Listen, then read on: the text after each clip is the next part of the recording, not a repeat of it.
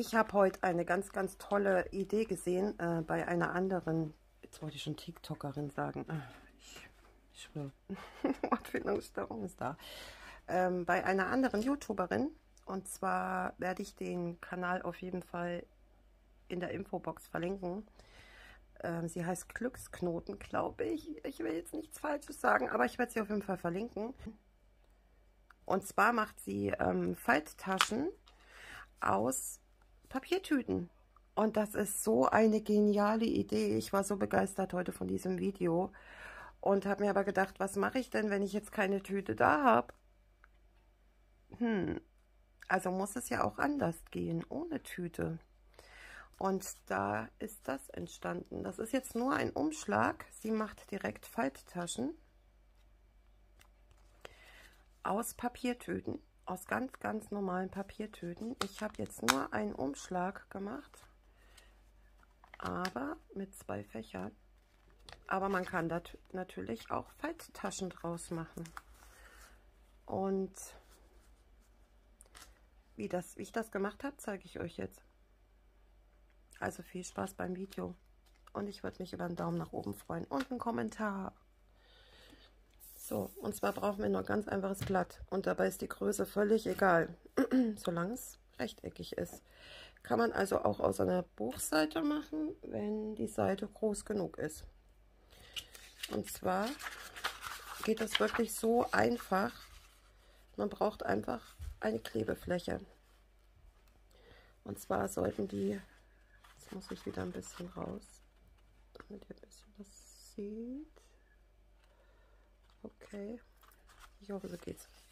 Genau, und zwar falten wir jetzt das Blatt einfach so, dass eine Klebekante entsteht. Also wir überlappen die Blätter etwas.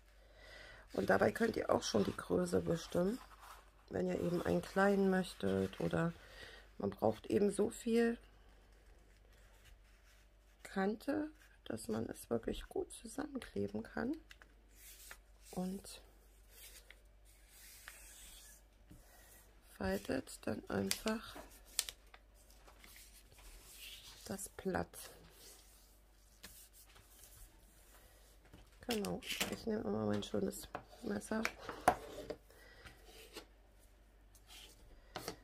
Jo, und dann kleben wir das erstmal zusammen, würde ich sagen, auf der Kante. Und das mache ich jetzt. So, ich habe das jetzt zu einem Schlauch sozusagen geklebt. Und jetzt falten wir. Jetzt muss ich gucken, ob ich wieder gesehen werde, dass wir noch eine Umklapplasche haben. Also wir falten nur so viel, dass wir unsere Lasche noch haben. Und das finde ich wirklich praktisch. Also diese Idee ist einfach so toll. Und jetzt machen wir unsere typische Tütenform, also den Boden, der ja eigentlich zu unserem zu unserer Lasche wird, falten wir jetzt die Ecken einfach an diese entstandene Linie. Das müssen wir wirklich gut falten, weil, das erklärt sich gleich, und dann richten wir uns nämlich einfach nach der entstandenen Linie und falten die Ecken rum.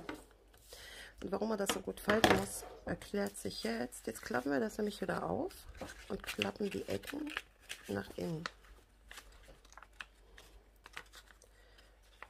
Und da ist, empfiehlt es sich wirklich gut zu falten.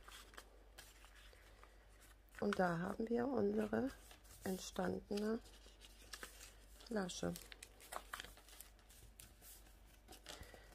So, und ich habe nicht gut gefaltet, aber das kann man ja noch mal ein bisschen ausbessern. Also nicht so schlimm, wird ja eh noch beklebt. So, und das ist eigentlich schon der ganze Zauber. Das kleben wir dann zusammen. Und ich habe ja jetzt zum Beispiel, wenn man nur einen Umschlag machen will, ich habe das jetzt mit einem Klebestreifen gelöst. Das ist für ein Junk Journal für eine Freundin und habe da auch noch ein Täschchen vorne dran gemacht und passende Text dazu. Und da sind ja zwei Taschen entstanden. Ich weiß nicht, ob man das sehen kann. Ja, genau.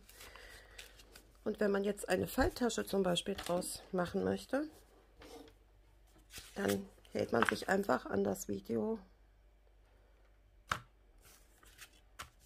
der YouTuberin. Ist in der Infobox auf jeden Fall verlinkt und das will ich ihr auch nicht vorne wegnehmen, weil das ihre Idee ist und ich wollte sie nicht klauen. Ich wollte nur eine weitere Möglichkeit zeigen, wenn man mal gerade keinen Umschlag zur Hand hat oder man einen kleinen Umschlag machen will, weil das lässt sich nämlich, glaube ich, auch perfekt mit Buchseiten machen.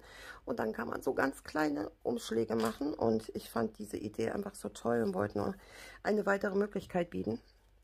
Und ich bin begeistert, weil, ähm, ja, es ist schön für ein Junk Journal und man kann es verkleiden, wie man möchte, wie ich zum Beispiel mit Buchseiten oder wie sie das in ihrem Video zeigt, mit Designpapier, was wunderschön geworden ist. Also Props äh, an sie. Ich fand es so wunderschön und war so begeistert, dass ich heute wirklich gegrübelt habe, wie ich das lösen kann. Das Problem, dass ich kein, keine Tüte zur Hand habe. Und ähm, ich hoffe jedenfalls, das Video hat euch geholfen, vielleicht, und gefallen. Und ich würde mich über einen Kommentar freuen, auf jeden Fall.